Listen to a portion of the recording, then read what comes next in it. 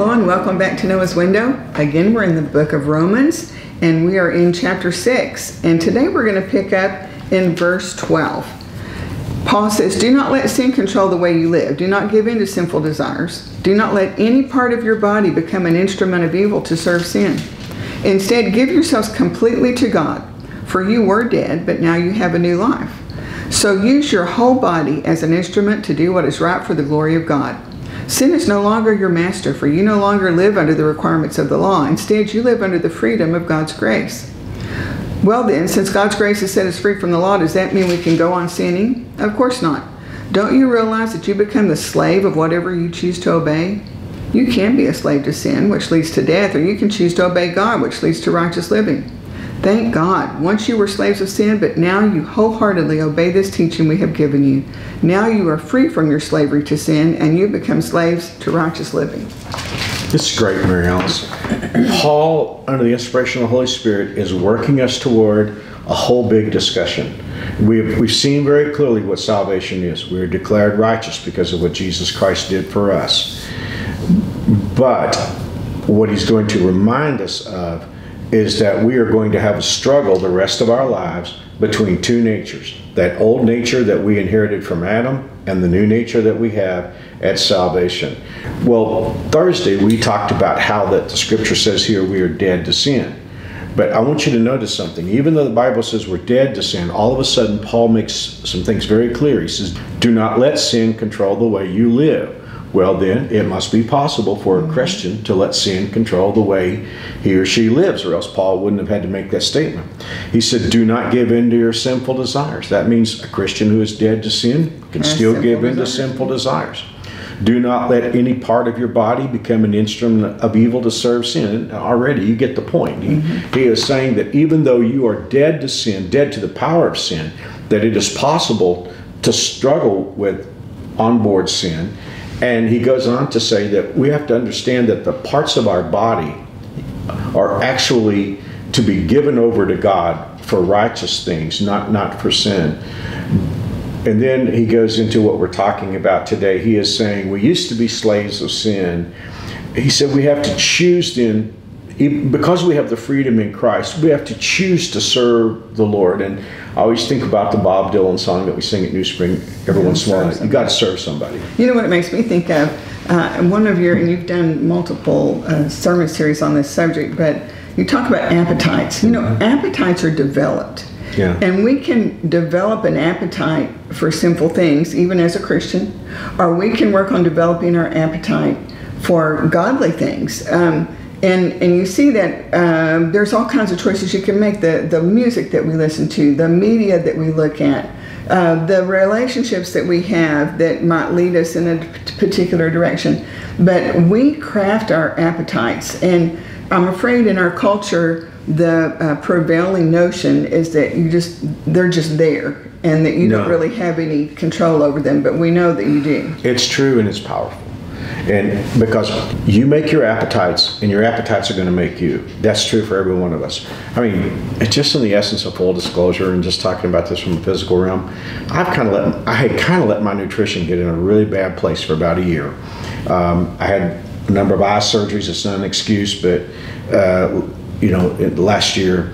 And because of that, I got slowed down working out and started gaining weight again, and then got in some really bad habits. And you know, I started. I would start the morning with a particular pastry that I would stop mm-hmm. and get, and all this, and my weight ballooned up. And then the worst part about it was I felt horrible.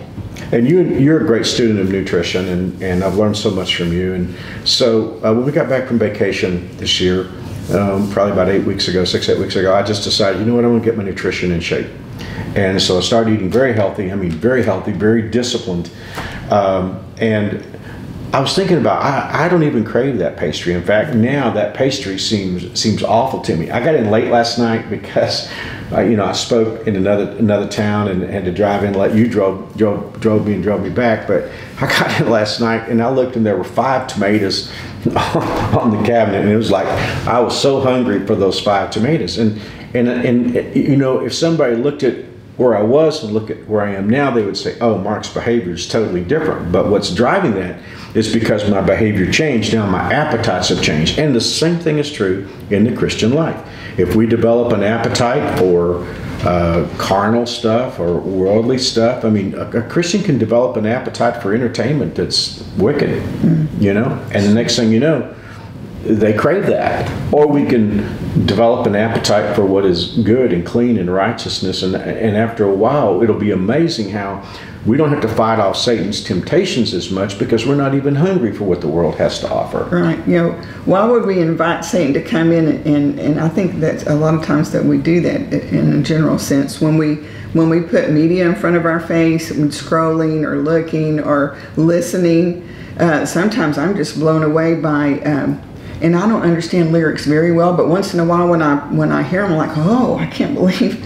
And um, so you know, if we pay attention to those things, but we can direct our appetites uh, to godly things. And and you know, it, I know this isn't true of you guys because you're you're watching us on Noah's Window, but uh, a prevailing thought I think among Christianity is that reading the Bible is a little bit like taking a vitamin pill. Mm-hmm. You know, you just you just endure it uh, to say that you did it, but you're here because you love this, and and that appetite drives you. And uh, I know I get really excited when I see people that are excited to learn more about the Bible, to read it, to understand it, and it will. The Bible, God has promised us that if we get into this Word, it will transform us. Mm-hmm. And so I'm so excited that you guys are are on this journey with us, and that you're hungry for what uh, the Bible has to say there's a power in, in obedience, whether we're talking about doing the right thing or not doing the wrong thing.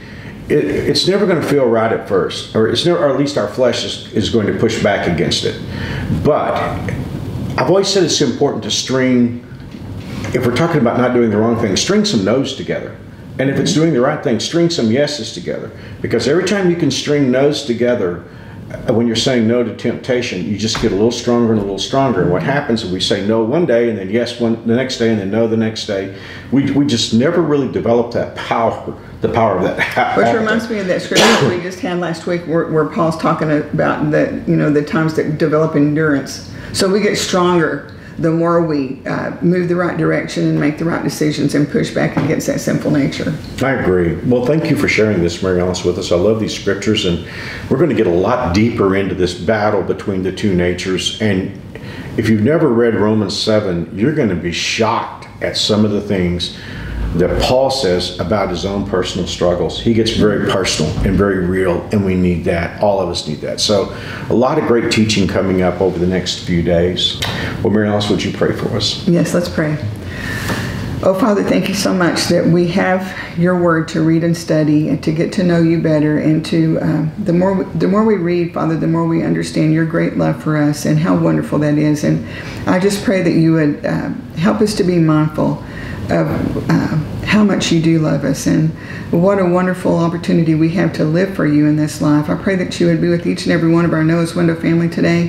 Help them through their challenges. Uh, and um, may this be a joyful day for many that are, are seeing you work. May they stop and uh, take account of the fact that you have worked on their behalf. And we'll give you the gratitude for that, Father. For others that are just entering a time of, of difficulty, I just pray that you would uh, go with them and provide for them. Wrap them in your love. Draw them close. May they feel and know your presence. We'll be careful, Father, to give you all the glory and the honor and praise for all these things. And we ask this in Jesus' name. Amen. Amen. Thank you for praying for us, Mary Alice. Thank you for joining us on this Monday. God willing, we'll be back tomorrow. We'll see you tomorrow. God bless.